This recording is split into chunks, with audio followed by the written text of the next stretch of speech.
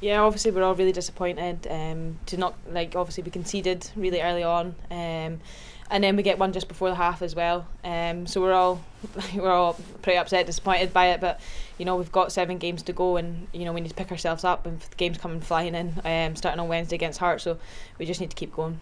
Yeah, and how frustrating was it to, to obviously lose the goal so early and, and impact the way you wanted to play the game? Yeah, obviously it's never in the plan to lose a goal so early on. Um, they then score, and I think we have chances and we don't take them, um, and that could have changed the game around. Um, and then as it goes, we just can't um, create chances or put it in the back of the net. So it's just how it goes. So like I say, like we just need to keep going and uh, pick ourselves right back up.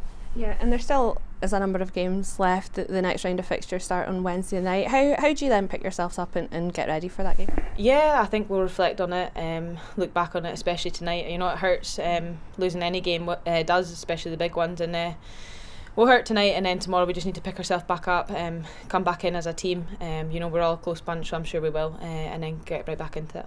Yeah, and you touched on it there that you are all very close and there's a lot of experience in there as well. How key is that in, in being able to sort of get a reaction and a response from results?